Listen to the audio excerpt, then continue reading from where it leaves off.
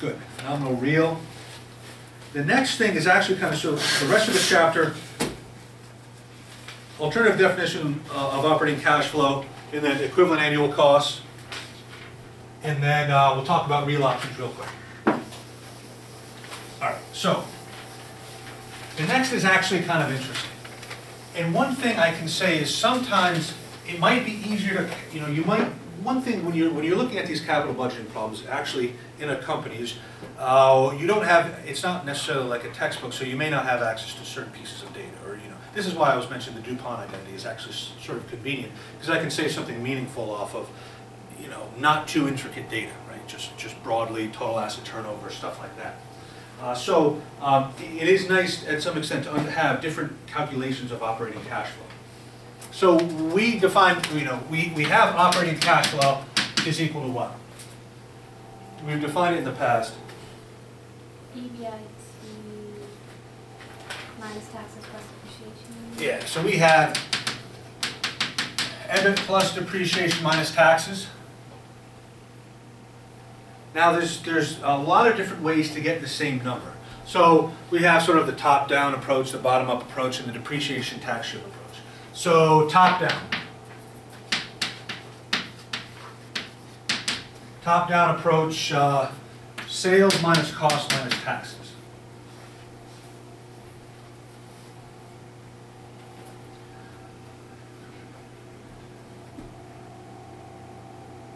Now, the only thing to think about, is, it, this is just, it's the same thing, it's just rewriting it, right? Uh, Can anyone see how we get from this to this? So another, oh, sorry, and I shouldn't have this here. This is, um, this is operating cash flow, uh, under the top-down approach, right? So this is just, this is how I'd calculate it, called the, uh, the top-down approach. Right? So in other words, this is equal to that. I shouldn't have a top-down equal to. Uh, But can anyone see why these two things, are- in other words, there's just rewriting the same thing. Um, Just, you know, uh, other convenient ways of writing this. In other words, let me ask you, what is sales, what is sales minus cost equal to?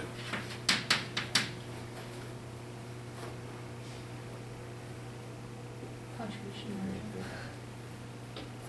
Sales minus cost is like, uh, you know, we, we've seen these in margins, but in other words, uh, is it anything like up here?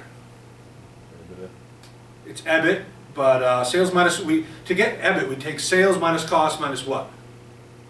Depreciation. Depreciation, so sales minus cost is just equal to EBIT plus depreciation. Does that make sense? So it's the same thing. This, right here, is just equivalent to this. Let's just rewrite the same thing.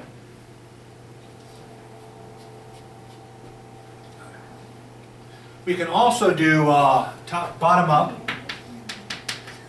This might be a little bit more convenient. And then the last one is, is my personal favorite. Uh, But this is going to be net income plus depreciation. So if you have net income, you have depreciation, uh, you can back out operating cash flow. Of course, leaving out other, I'm, I'm not assuming other non-cash charges at this point, right? So to the extent that there are other non-cash charges, you would have to add those back in. But assuming that depreciation is our only non-cash charge, we can easily get operating cash flow by taking net income and adding back in our depreciation. Because what happens, uh, what is the, what is, what is EBIT minus taxes? If we're not including interest. Fine. Yeah, and what's earnings? And Another word for earnings? net income. Net income. So in other words, I could just write it like this by saying EBIT minus taxes net income, add back, you know, so it's the same thing.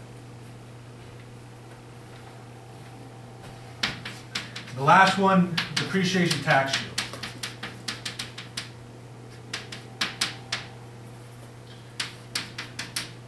Uh, what is this? Sales, let me see, sales minus cost times one minus the tax rate plus depreciation times the tax rate, is that what it is?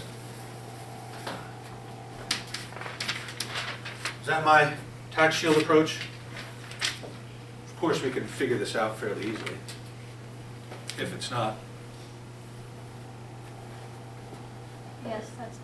that's it? Mhm. So now the question is, maybe I should leave this to you. Uh, Is this, you know, can you show that this is equivalent to this? Do you think it's equivalent to that?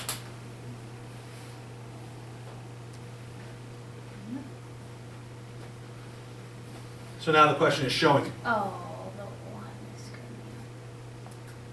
good. Should I leave this to you and like maybe bonus points if you show. It's just a little bit of, out- meaning multiply this out and rearrange them. And then you just kind of have to notice what's, you know, what's what.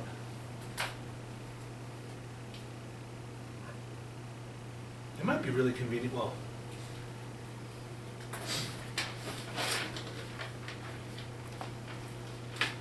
Yeah. See, I can see, let me think about this for one second. If I get that.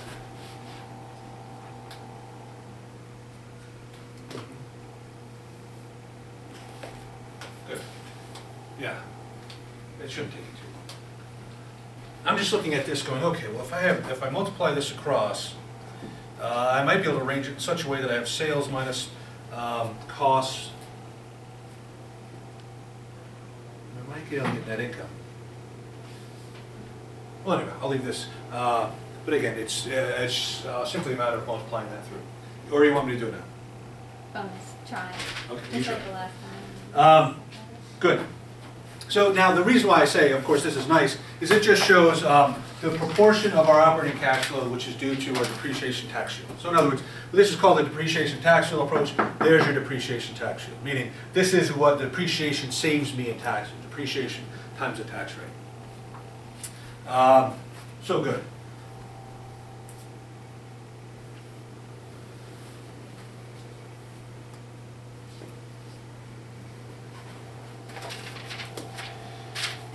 Now, the last thing, so we're, okay with this?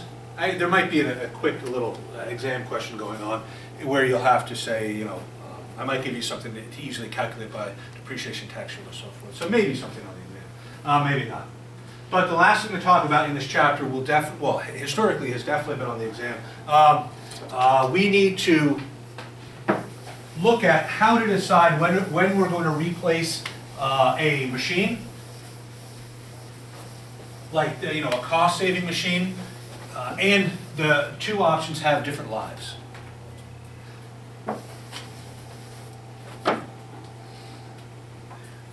So, um, uh, what is it, uh, equivalent annual cost method. So the idea here is, I'll go through, I'll go through a brief example like the text does. We have to uh, choose between two machines with different lifespans. So in other words, um, uh, These are going to be costs. So let's say we have uh, two machines. We have machine A and machine B. Uh, At time zero, each one costs, you know, these, these are all going to be costs. So we want these to be lower, right? So these, these are costs. This one costs 500, this one costs 600. Um, Then we have at time one, two, three, uh, 120, 120, 120, uh, 100, 100, 100. Uh, Let me say four.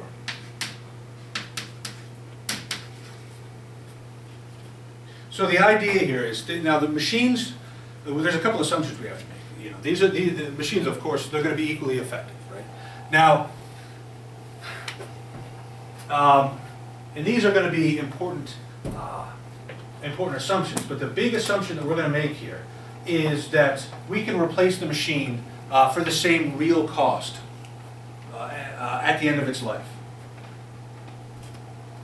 Does that make sense? So this, this is, I have to say, the big assumption, meaning we have two unequal lives. So the assumption we're gonna have to make is that I can replace this machine for the same amount in year four.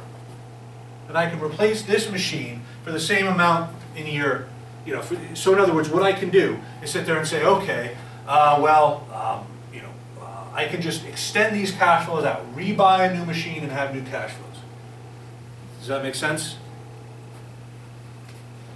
Technically, I would have to say, okay, buy another machine here, 500, then have 120, 120, 120, right? Buy another machine here, 600, 100, 100, 100, going on. Now, um, the idea here is we make an assumption that uh, uh, we're dealing in real dollars, not nominal dollars, so. uh, But um, but that still is, is, you know, sort of an important assumption that goes into this. So the question is, how, how do we decide which machine to buy, if we can make that assumption? This is obviously more money. It's uh, fewer years, and it's uh, less upfront cost. More upfront cost, more money, uh, or less money, but for more years. So we need a sort of a methodology to, to decide which project to, to, um, or which uh, machine to buy. So it's a cash outflow and then inflows. These are all cash outflows. It's like a machine, like a computer. Um, you know, think of it like a, I don't know, a truck. You buy it and then you, it has some operating cost uh, every year. So this is, you know, the purchase price and operating cost every year.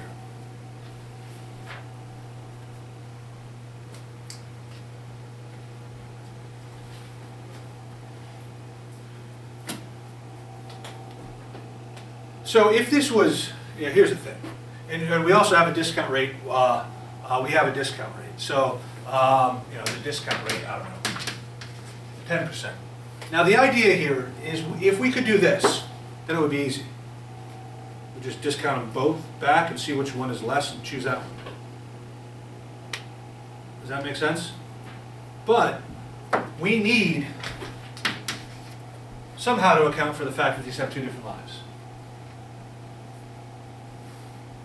So what we need to do is we need to put these on annual terms.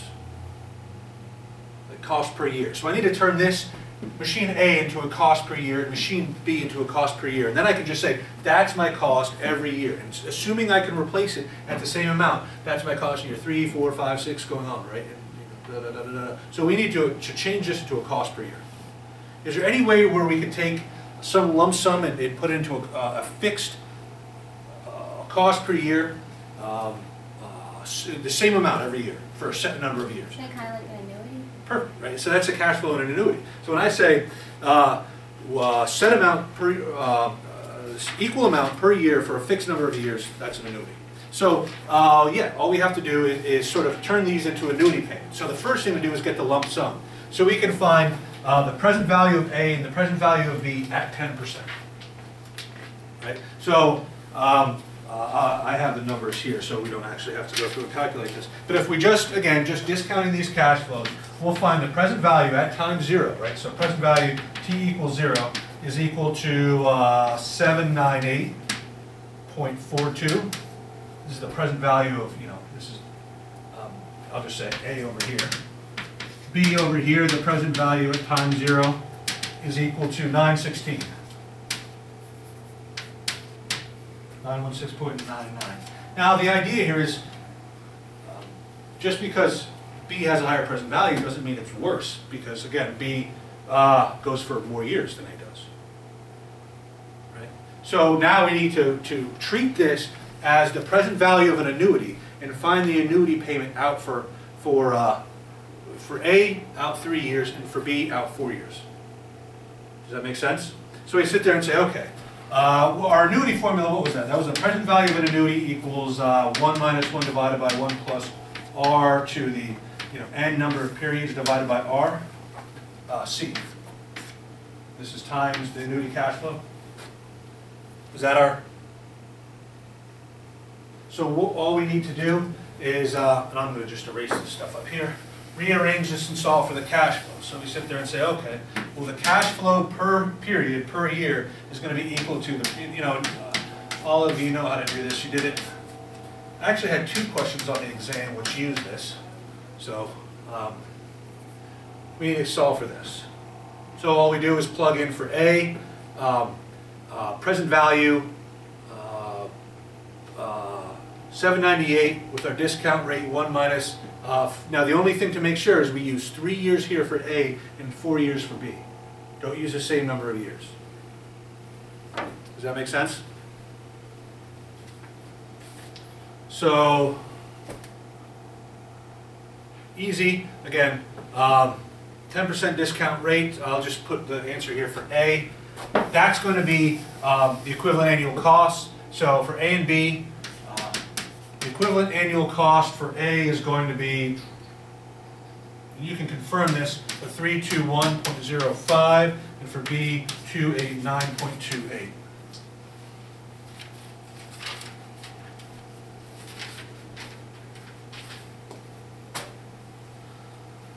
So, given that these are costs,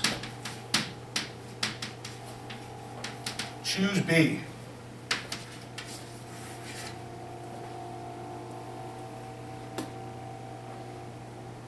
okay?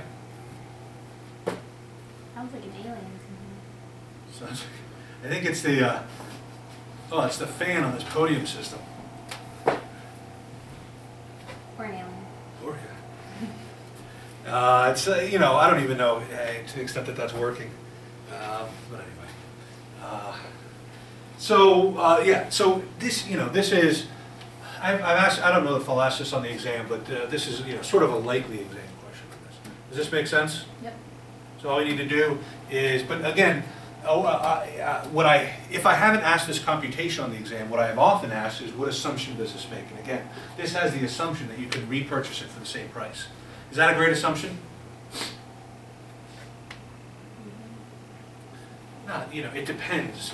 It's probably, you know, maybe for small things with short lives, it's maybe an okay assumption. Uh, particularly once you get, starting to get to big costs and, you know, lives that may be over ten years, then that's not a, it's not a super assumption. Uh, so, uh, I might ask, you know, just assumptions that go around this. So look at the calculation and make sure you read what are some of the assumptions that go into it. Um, the next section, so this is the end of uh, chapter, uh, the end of chapter six. And uh, out of chapter seven, I only cover one topic, and that's real options. Now, I cover, so let me talk a little bit about real options, and then we'll stop, we'll do a couple concept questions, and then we'll go through end of chapter problems. Now, how can I frame this? How can I frame this?